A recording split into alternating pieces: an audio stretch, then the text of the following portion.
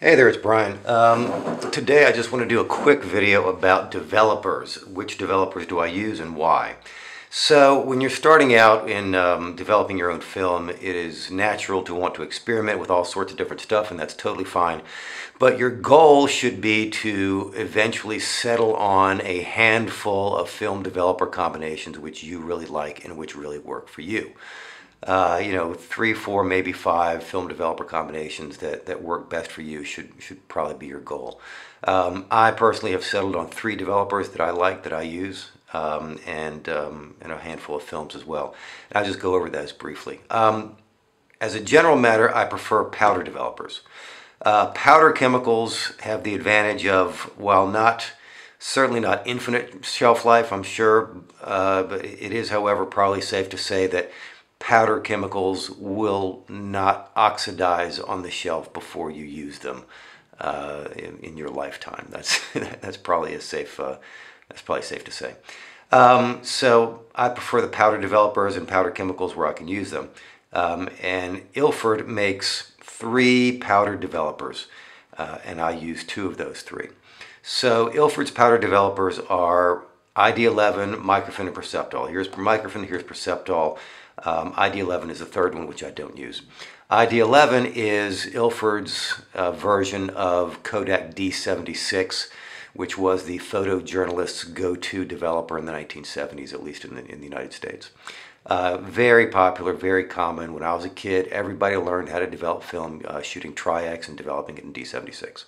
That was just the standard developer of the day. Uh, it's less popular today because it's less, you know, it's it's sort of dull, plain, humdrum, you know, uh, nothing nothing special about it, except that it works with darn near every film you can think of. You know, other than that, there's not much special about it. Um, I don't, uh, personally, I don't use it because I like Perceptol and Microphen, um, and I'll tell you why.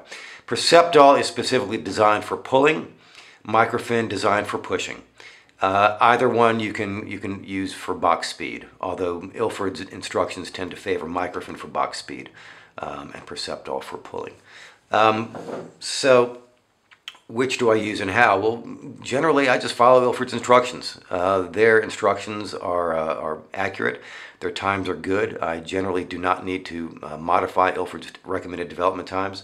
And you can find the recommended development times for your uh, for the films you prefer uh, in two places. Number one, you can find them in the film uh, cartridges, in the film boxes themselves. Okay, so on the back of 3200, you've got instructions for developer developing in Ilfotec, Microphen, ID11, D76, Ilfotec, Ilfosol, Perceptol, Rodinal, Microdol, T-Max, uh, and so forth and so on. Okay, so this is the first place you might look.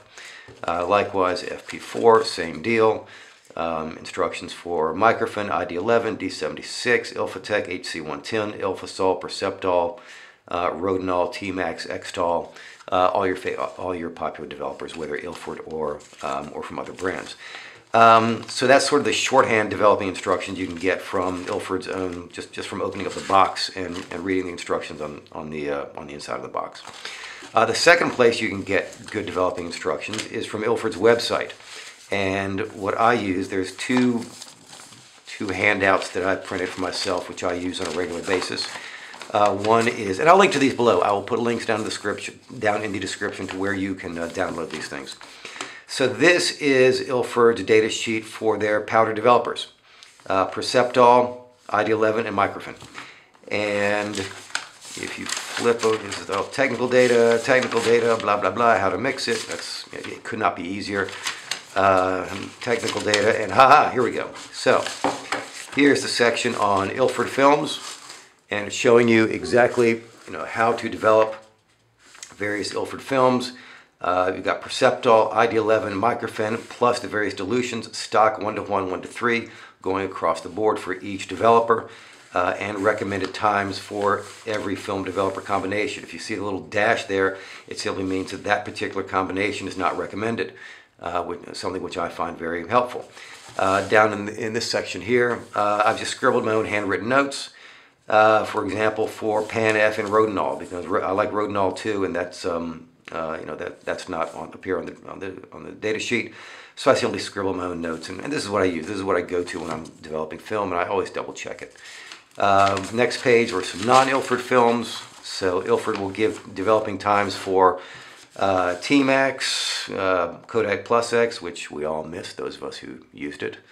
Long um, Plus X is, is, dead. Long live Plus X. Tri-X, APX 100. I don't, I don't think that's around. Um, Fuji 100. Wow, this is an old data sheet. okay, so uh, I wonder what the I wonder if they've updated this. Oh well. Anyway, I'll put a link to it. You can download it, and, and perhaps they have. Uh, and again, here I just um, scribbled some of my own notes, mostly for Fomapan films, which I also like to use. So that's a very useful data sheet. Another one is this, and this is perhaps one of the most useful data sheets in all of film photography, and that is the time temperature compensation chart. You do not have to obsess over getting your temperature on the nose correct with black and white chemistry. Color chemistry? Yes. Black and white? No. For black and white chemistry, download this data sheet. You can compensate because developing times for black and white chemicals are always given for 20 degrees Celsius or 68 degrees Fahrenheit here in the shaded column there. This gives time conversions for uh, 18 degrees Celsius up to 27 degrees Celsius. So as long as your tap water is somewhere between 18 and 27 degrees, you can compensate.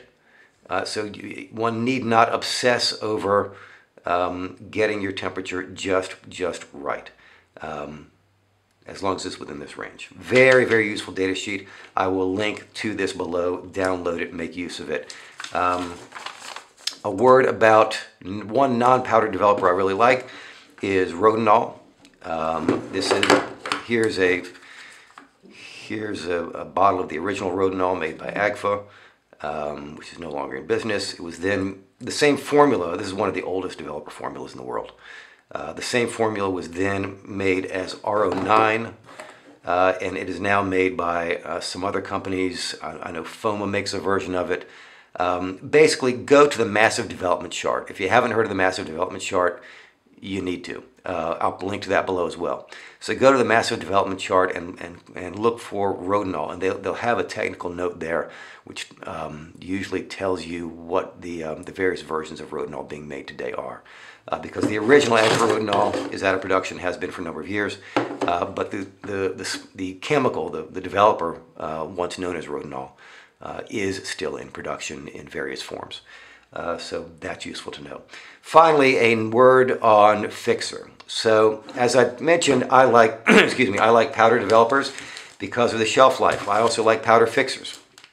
So in powder fixers, you basically have two choices. Um, there's Foma and Kodak. One is just as good as the other. There's nothing wrong with either one. They're, they're, uh, they work just, just as well. The advantage of the Foma fixer is this is a small package which makes one liter. Uh, this is the smallest package of Kodak fixer you can buy and it makes a gallon, or US gallon, or 3.8 liters. Um, and I don't shoot enough to use a gallon of fixer before it oxidizes. So this for me would be wasteful, which is why I prefer the Fomafix. Um, because one liter of fixer, yeah, I can I can use one liter of fixer before it goes bad. A gallon, that's a bit of a stretch, at least for me. I mean, maybe if, if you shoot enough volume, um, it may be worthwhile for you to, to mix up a gallon of fixer. For me, it's not. Um, so I use the um, I use foam.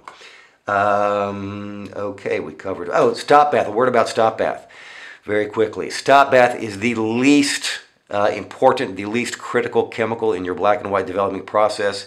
There is no powder stop bath that I'm aware of, but so what, big deal. A lot of people say you don't need stop bath at all, that it's superfluous, that it's unnecessary. I use stop bath because that's how I was trained when I was a kid. Uh, so that's just what I got used to. So I, I do use stop bath, and the, the, shelf life of the liquid stop bath tends to be pretty pretty long. Um, the um, uh, but a lot of people just use water as a stop bath. Uh, that's a different topic for a different day, and it's beyond the scope of this video. But before you obsess over stop bath, do a little homework and and um, um, listen to both sides of that argument. You know, it's you know, I don't know who's right. I mean, I use stop bath, but you know, it's entirely possible that you know, it's not necessary. Uh, plenty of people don't. Um, so that is my two cents worth on developing chemicals for black and white for, for today. Um, in the future, I'll try to do some more uh, videos about the developing process uh, as opposed to just you know um, uh, camera gear reviews because um, I think a lot of people are put off and intimidated by the developing process, and I would like to be as helpful as possible. So, uh, if you have questions, drop me a note, ask, and I'll see if I can uh, uh, if I can answer it. I'll do a video. All right, thanks for watching. Take care. Bye bye.